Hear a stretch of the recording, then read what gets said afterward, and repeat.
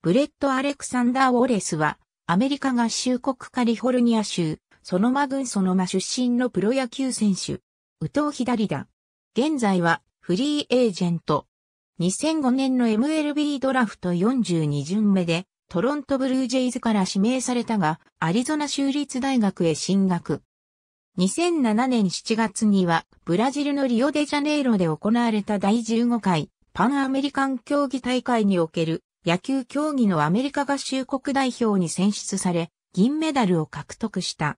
2008年の MLB ドラフト1巡目でセントルイスカージナルスに指名され、7月1日に契約。1年目からマイナーで OPS900を超える成績を残す。同年7月24日にマット・ホリデーとのトレードでクレイトン・モーテンセン、シェーン・ピーターソンと共にオークランド・アスレチックスへ移籍した。2009年12月16日にはマイケル・テイラーとのトレードでブルージェイズへ移籍。同時に三塁手から一塁手へ転向した。2010年はトリプル A 級ラスベガスフィフティワンズで打率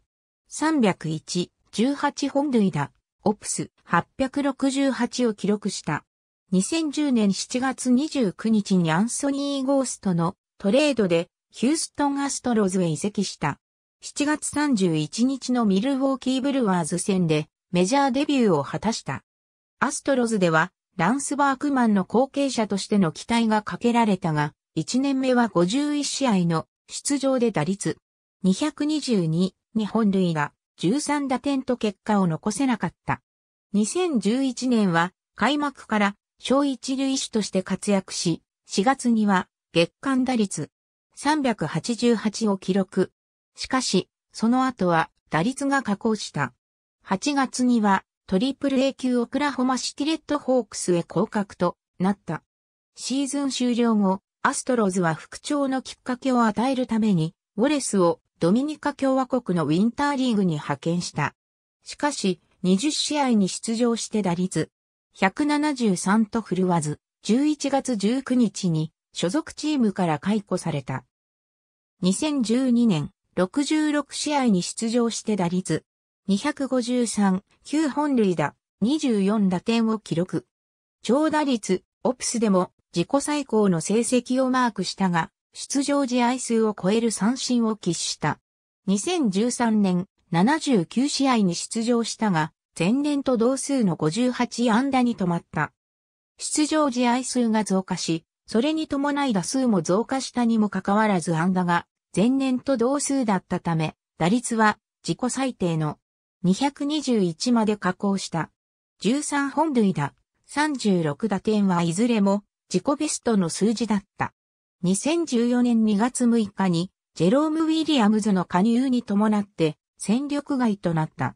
2月12日に40人枠を外れる形でトリプル A 級オクラホマシティへ配属され、3月12日に放出された。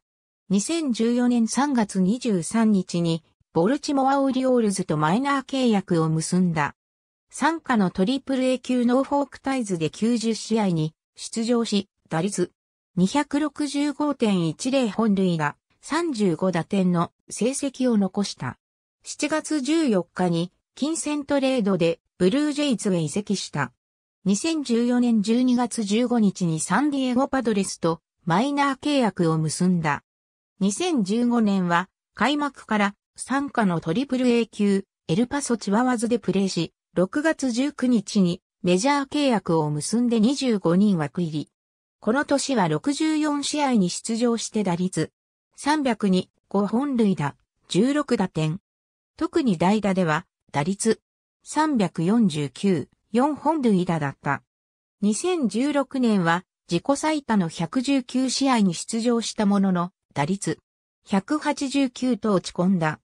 オフに一旦 FA となったが、12月19日にマイナー契約で再契約した。2017年4月2日に自由契約となった。ありがとうございます。